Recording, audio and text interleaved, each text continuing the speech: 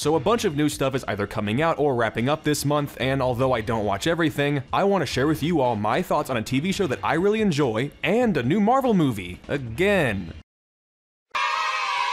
That's right, I'm reviewing two things in this video. First, I'll talk about the new season of The Boys that just wrapped up, and then talk about the new Thor movie. If you're here for one and not the other, just click away or skip to whenever. But if you're new here, make sure you subscribe and hit that bell icon. And don't forget to like this video if you enjoyed it. Now, let's get into the review. Despite how negative my commentaries are on this channel, you may be shocked to learn that from time to time, I do actually find a TV show that I like to watch. I know, it's crazy, but I actually really like The Boys. The season finale dropped Friday, and I knew that I was going to want to talk about it. But since I have never even talked about the previous two seasons on this channel, I want to share with you all my thoughts on them, but also give a basic overview for those who have never seen it. Eventually, I'll touch into spoiler territory when talking about this new season, but if you haven't seen The Boys at all, I'm sure there's a good chance that someone you know has already told you that you should watch it. If you are feeling at all burned out from Marvel, I really think that this show is the antidote. At its core, The Boys is an action drama that involves a world where superheroes exist and are real, but they're controlled on all fronts by a giant corporation named Vought, and all the superheroes are terrible people. The series is titled after the group of protagonists that you watch come together to fight against lies, manipulation, and conspiracies propped up by this mega corporation. While I do believe that this show is very good, I will say that it's definitely not for everyone. When it comes to the violence, gore, and adult content, it's like Deadpool on crack. I really can't think of a time when this show holds back from anything. It's pretty overwhelming most of the time. Anytime I feel uncomfortable, I just kinda laugh, but usually it's genuine, because the show is so over the top that it is played in a comedic way. But again, it's not for everyone. Mild spoiler, but one of the central female characters gets S8 in the first episode, and I know some people who couldn't get past that first part of the story. And hey, that's okay. But I still hold this series up with high praise from its first two seasons, and the third is no different. Season 1 does a great job at dropping you directly into the middle of this universe. Instead of the Avengers, it's the Seven, and instead of having mostly benevolent superheroes who fight for the good of humanity, you have the world's biggest self-centered narcissists who only care about how the public perceives them. They star in their own movies and they fight crime on the streets. But only some of them, and those guys get contracted out to work with local law enforcement. Oh, and Vought is lobbying Congress to get superheroes placed into the military. The Boys is arguably the most realistic depiction of what superheroes existing would look like in our world. The superheroes are assholes. The boys are assholes. Everyone has a story, even the ones that don't have any lines. There's at least someone you can sympathize with, empathize with, root for, and cheer against. I thought season 1 was very enjoyable, and season 2 only raised the stakes. This is the only show to consistently make my jaw drop if that says anything. This show is also a dark comedy and a political satire. Part of what makes it so realistic is that the absurd the characters in this show deal with seems eerily similar to that we deal with in our world. If you have not seen the show, I highly recommend that you watch all three seasons and come back to this review. It's on Prime Video, so go watch it. Okay? Good. Now I'm going to talk about the new season, and to do that, I have to get into spoilers. So here is your one and only spoiler warning. So yeah, it's really no surprise that season 3 is pretty good. Season 2 ended with a lot of potential, such as Hughie going to work for the lady who was secretly a soup with the ability to pop heads, or Homelander being on the edge of snapping and killing everyone. Just like the previous seasons, everything from the writing to the acting is pretty good here. With the previous season's antagonist being a literal Nazi from the era of Nazi Germany, it's hard to prop up another antagonist that the audience can see as worse than a Nazi. But this show does just that, and honestly, I think it's brilliant. Homelander is one of the greatest villains of all time, in my opinion, and I think the writers did a great job at convincing the audience that a man such as Homelander is infinitely more evil than an actual Nazi. When Stormfront talks up the white genocide narrative to his son, he's clearly tuning out and does not care what she has to say. The only genocide he cares about is the one happening to his public image. And in this season, when Stormfront talks about how their children would be the perfect master race, he's once again not interested. He even remarks on how he is the master race. That was the line that sold me on Homelander being the ultimate bad, even though it's kinda clear from the beginning that he's the ultimate bad, but you get my point. A man with godlike powers who will stop at nothing to ensure his public image is polished and maintained and that his feet are kissed in worship is a horrific threat to not only a single population, but humanity as a whole. Homelander gets even more characterization in this season, and for the first time ever, we get to see Homelander be scared. From the get-go, the plot of this season is clear. Find a way to kill Homelander. Immediately, the conversation moves to figuring out what killed the iconic hero Soldier Boy decades prior, and so the boys go to investigate. But plot twist, Soldier Boy is alive and has this new power where the sound of the Russian language triggers him so much he blows up. Oh, and he's radioactive, so he can just fry the compound V drug out of the veins of superheroes. Hmm, I wonder where this story is going to go now. Seeing Homelander stare at his reflection as he copes with the fact that for the first time ever he's met his match and has a bruise to show for it was great. And a twist of events that I actually did not see coming because I just never thought about it, Soldier Boy is actually Homelander's father. When it comes to Homelander's origin, I think the writing has leaned to make you feel a shred of sympathy for him because he was raised in a lab and essentially created just to be Homelander, deprived of any real childhood or family. He has no actual family, and anyone who raised him just experimented on him. So when he gets a phone call from Soldier Boy where he learns, well, I'll just let Soldier Boy explain.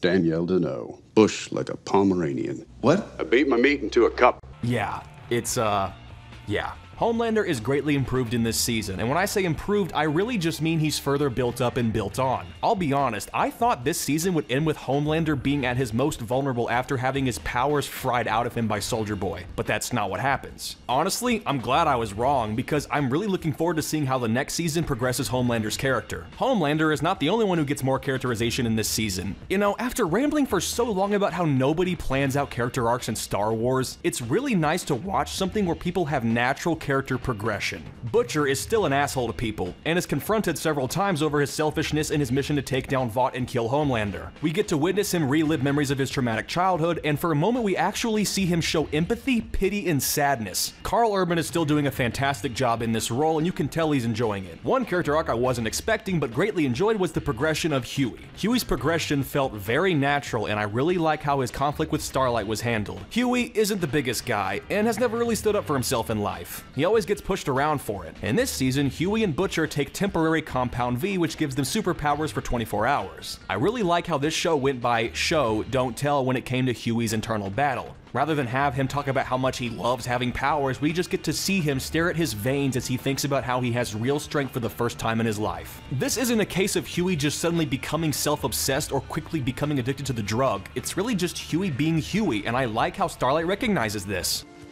I thought the drugs had f***ed you up, Hughie, but... This is you. This is all you.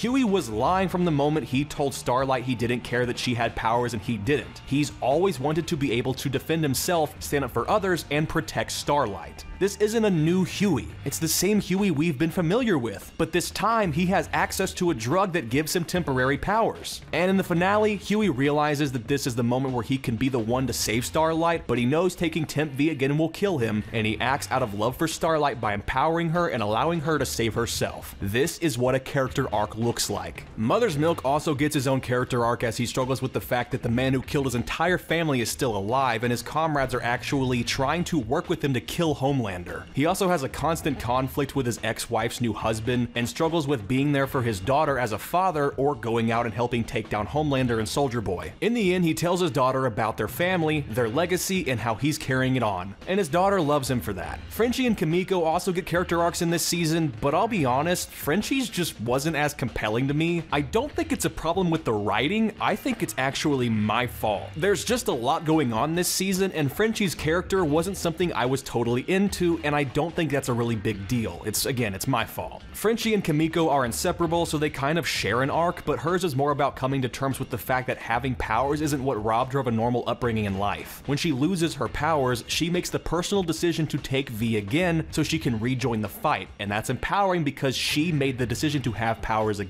This season also gives room to explore how other characters have been growing and developing during this time, like A-Train and Black Noir. A-Train actually has a character arc in this season, and the ultimate payoff is not only nightmarish for him, but compelling to the viewer. Hughie is right when he says that A-Train never actually apologized for turning Robin into mush, and it took almost losing someone close to himself for A-Train to realize how terrible of a person he's been, and he finally gives a sincere apology. By the end of the season, the actual family he has doesn't even want to see him anymore, and Homelander Especially doesn't consider him family. So he's just kind of left sitting there to think about all the shitty things he's done in life that's gotten him in this position. And I gotta say, I really like how this show does not try to do what 13 Reasons Why did to Bryce Walker with the Deep. It is very clear that the Deep is irredeemable, and any character arc that he gets is never meant to make you like him more or forgive him for the awful shit he's done. The Deep is still pathetic. He hasn't changed at all, and he's now the series punching bag for it, and I think it works. I didn't think it was possible, but Black Noir gets characterization this season, and he doesn't even speak. Just like everybody else, his wishes and desires to be seen as he is are shot down because the status quo of his image being a silent ninja does better for company profits. And this show gets weird sometimes and continues to get weird in this season as we are introduced to Black Noir's imaginary talking cartoon critter friends.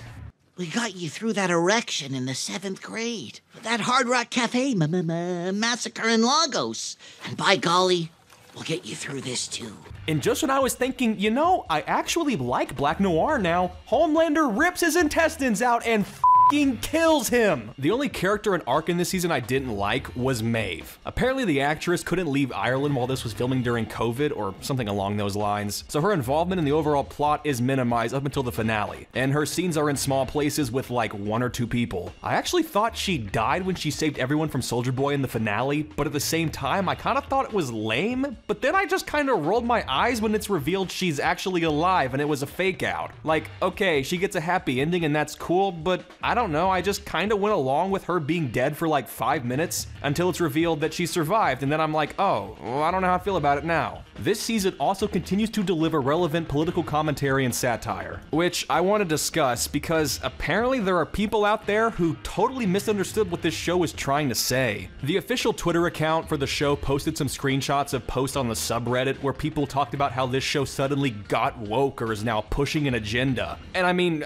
have we been watching the same show? The boys didn't suddenly get woke this season, it's always been woke. The political satire is clearly inspired by modern day politics, and that was always the point. When the show covers how corporations capitalize on gay pride, it wasn't from the angle of companies that do this promote a gay agenda, and that's bad because Tucker Carlson told me so. It was showing how corporations have no actual regard for the marginalized populations they claim to support once a year, and how them profiting from gay pride further disenfranchises those communities. Eh, I'm sorry, did it really take people three seasons to realize that Homelander is a bad guy? Because I thought it was pretty obvious. It could not be more obvious that Homelander is an analog for Donald Trump. It's not subtle at all, and it's also not my opinion. It's been confirmed by the showrunner. Most of the time, the political commentary and character inserts are so on the nose that I genuinely can't fathom how anybody saw it any other way. Before you say, oh, another woke SJW YouTuber, unsubscribed! Hear me out. Victoria Newman is an obvious parody of Alexandria Ocasio Cortez, in that she presents herself as progressive in comparison to other people around her, but at the end of the day, she still works to maintain the status quo and is only really concerned with branding, supporting her image, campaigning, and fundraising.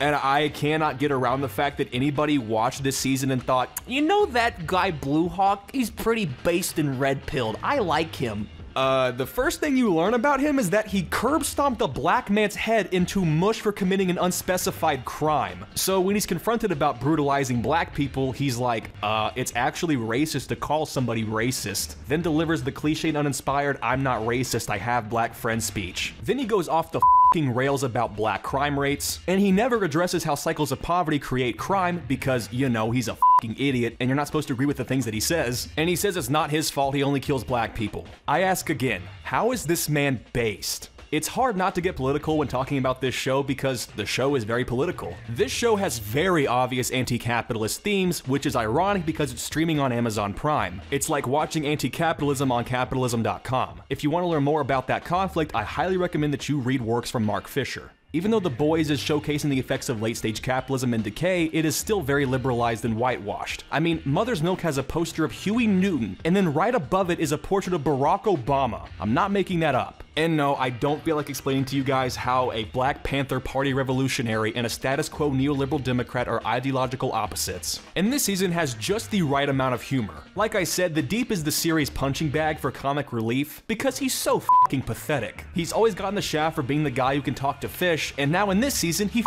them. Specifically an octopus, but that's not important. The cutaway gags are still enjoyable and continue to remind me of the world I actually live in. Like when some of the soups and even real world celebrities cameo to sing John Lennon's Imagine in the same cringy cadence that they all did in our world a while back. Soldier Boy, being from a completely different generation, is used for humor sparingly, and I thought it worked really well. I especially love the clip of the movie Soldier Boy starred in where he gets his own Rambo 3 moment.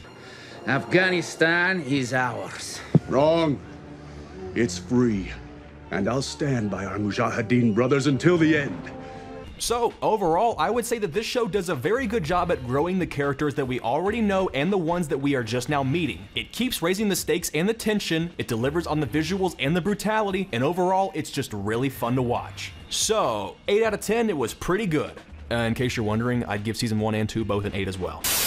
Now that I have praised the boys as much as I can, it's time to get critical again because Thor Love and Thunder is not great.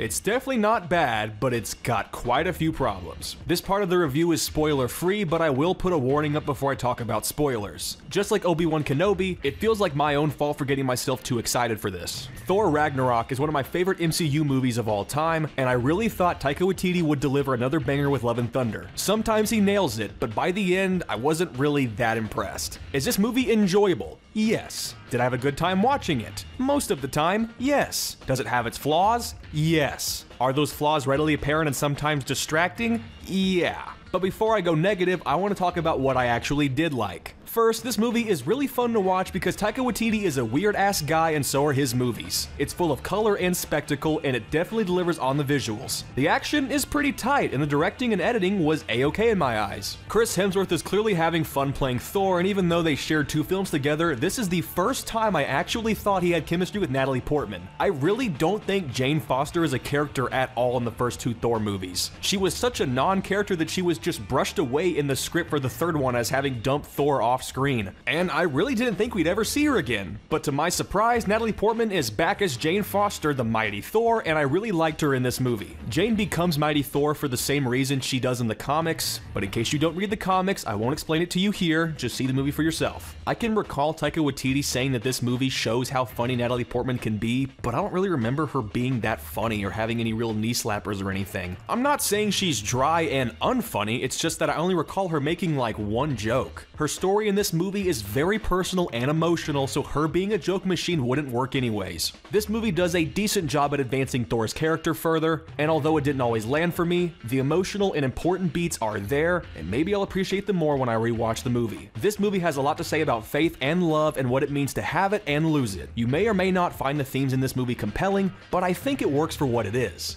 The Guardians of the Galaxy are fine? Yeah, they're, they're fine. Fine for like the less than five minutes of screen time they have. They're in the movie for about as long as I expected, so I'm not complaining. The Guardian sticking around in this movie for its entirety would have not only clogged up the screen and script, but would have also been more expensive for Disney, so they're used sparingly. I don't really have any thoughts on Valkyrie or Zeus, or even Sif. I kind of forgot she was even in this movie. I'm not going to mention my thoughts on Korg yet, and you're going to find out why in a second, but I gotta talk about one of the biggest new faces in this movie. Christian Bale as Gorr the God Butcher. Unless you live under a rock, I'm sure you've seen a movie with Christian Bale in it. He's a phenomenal actor who takes his roles very seriously, and is also very selective with the ones that he takes. I think this is part of why I was so excited to see him in this movie, and also because I thought he looked cool. I'm not a comics nerd, so I didn't flip out when it was shown he wasn't comic accurate. I don't really care. But yeah, Christian Bale as Gorr steals the scene when he's on screen. But the problem is, he's not really on screen all that much. So this is where I'm going to transition into things that I did not like in this movie movie, and I'll pick back up with Gorr the God Butcher. So yeah, needless to say, I was disappointed with Gorr. Gorr's mission and the actions he takes to get there are the driving force of the plot, and I think it's pretty dumb, but I can't get into that without getting into spoilers, so I'll wait on that. For now, I want to vent about how underwhelming Gorr was to me. You can disagree, it's totally fine, but I want to make it clear I think Christian Bale is amazing. He is easily the best part of the movie. Everyone, including myself, was hyping up Gorr, and it didn't help that articles came out saying that test audiences are saying Gorr is one of the best, if not the best, MCU villain to date. So, is Gorr the God Butcher the best MCU villain ever? No. No, he's not. Does he have understandable and compelling motivations for being a villain? Yes, I get why he's a villain, but the part where he actually started being a villain was just underwhelming. See, when you have a villain with the name Gorr the God Butcher, that implies that at the very least he'll do one thing. But would you believe it if I told you that Gorr the God Butcher doesn't actually butcher any gods? Not on screen at least. After his villain origin, all you get is people talking about what he's doing. I, me, I guess it's my fault I thought we'd see Gorr the God Butcher butcher some gods on screen. My bad, won't do that again. I think the one problem with this movie and that most people agree on, or at least are talking about, is that it's trying way too hard to be funny. I'd argue it's trying harder than The Last Jedi. I think Thor Ragnarok is actually pretty funny, and when I rewatch it, most of the jokes still make me exhale sharply out of my nostrils. But I don't know, man, I don't think most of the jokes in this one were funny, so I'm not sure how I feel after I rewatch it. I don't know if many of you all know this, but Taika Waititi didn't write Thor Ragnarok, he just directed it. This is the first Thor movie he's both written and directed, and you can tell he wrote these jokes because he gives them to himself. Korg, who is voiced by Waititi, makes quips and jokes non fucking stop. It's honestly annoying and disappointing because Korg is pretty funny in Ragnarok. I thought Screaming Goats were really funny in middle school, but I'm an adult, so after the first 5 seconds, it just got old. The movie is an hour and 58 minutes long, and I don't think it's paced very well. It could have benefited from being like 15 minutes longer or so stretched throughout to extend important beats that we were either rushed through or just skipped over entirely. But the main thing that made me leave scratching my head was the plot, and I can't talk about it without getting into spoilers, so if you want to avoid spoilers, skip to this timestamp now. You have officially been warned. Like I said before, Gorr's mission is the driving force of the plot in this movie, but we don't find out what his mission is until like an hour in, which is more than halfway through. So Gorr shows up to New Asgard and unleashes some CGI shadow monsters on the whole place cause Lego sets, and Thor and Jane show up and Gorr tries to kill Thor, but he fails and retreats. Then he uses the shadow monsters to kidnap all the kids in New Asgard, and this is where the plot kicks off. So Thor and crew set off to find the kids, which Gorr is counting on. By this point, I'm thinking, okay, so Gorr kidnapped all the kids because he knew Thor would come after him, and sure, he's probably more powerful in this Shadow Realm place. Okay, whatever. And I'm assuming that Gorr wants Thor to come to him so he can kill him because Thor is a god and Gorr is the god butcher. I've said his name a dozen times, you already know this by now. But that's actually not the entire reason he wants Thor to come to him. More than halfway into the movie, we learn that Gorr is after a brand new MacGuffin called Eternity and exists at the literal center of the universe. Nobody has ever reached Eternity, but the first person that does will be granted any wish they desire. Sound familiar? Again, I'm not a comics nerd, so when I see Eternity, I'm not like, oh my god, it's the guy from the comics and he's comic accurate, holy I really don't care. To me, he's another beginning of time magical MacGuffin that is really convenient for the story, just like the Book of Vishanti and Multiverse of Madness. Now, this next thing is what bothers me the most, and maybe I'm wrong and it's not a plot hole, but I'm pretty sure it makes no sense. Okay, so when Thor and crew arrive in the Shadow Realm to face Gorr, Jane realizes that it's a trap because Gorr is only after Thor's axe, Stormbreaker. Stormbreaker is the key that Gorr needs in order to reach eternity, and I don't understand how or why this is the plot. I- I'm just confused. The key to reaching a place that has existed for all of eternity is a weapon that was created five to six years ago. How does that make any sense? We watched Thor make Stormbreaker in Infinity War, and it's not like Waititi forgot that happened because Heimdall's son tells the kids the story of the time Thor made Stormbreaker to kill Thanos. So when you combine this pretty big plot hole that I think is a plot hole, coupled with the bad pacing and the fact that Gorr is being an off-screen god slayer who just kidnaps a bunch of kids and dilly-dallies in the shadows until our heroes reach him, is the reason I think the plot is overall dumb. But again, just because I think the plot is dumb doesn't mean I think the movie is bad. Like I said, I did enjoy this movie and I had a good time, and I'll definitely see it again soon, but it could have been better. I've given it some thought, and no, sorry, Ragnarok is still better. If you liked Ragnarok, I think it's safe to say that you'll like this movie too, but I can't say if you'll like it better or less than Ragnarok. I like the movie, but definitely wish it had done things a little more different. So, I'm going to give Thor Love and Thunder a 6.5 out of 10, I think? Yeah, that's fair. Thank you to Atlas VPN for sponsoring this video. As someone who is doing their graduate studies in cybersecurity, I believe the smartest thing you can do is be protected and safe when using the internet. The best way to do that is with the VPN, and thanks to this sponsor, you can get one for a very sweet deal. Right now, Atlas VPN is running a huge discount. You can get a three-year subscription for just 199 a month with a 30-day money-back guarantee, and this is a deal you won't want to miss. Atlas VPN has more than 6 million users worldwide and works to make internet access secure and limitless for everyone everyone. Not only is Atlas VPN a perfect way to browse and use the internet securely, but it can also be used to unlock a library of entertainment previously kept out of your reach. When you purchase Atlas VPN, you can utilize it to change the geographic location from which you are browsing the internet, which allows you to watch shows on Netflix or other streaming sites that aren't available in your home country. Atlas VPN is also incredibly fast, so I don't experience any interference when I'm streaming a show or playing a game. So don't miss out on this amazing deal because time is running out. Use the link in the description below to get a 3-year subscription for just $1.99 a month with a 30-day money-back guarantee. Thank you again to Atlas VPN for sponsoring this video.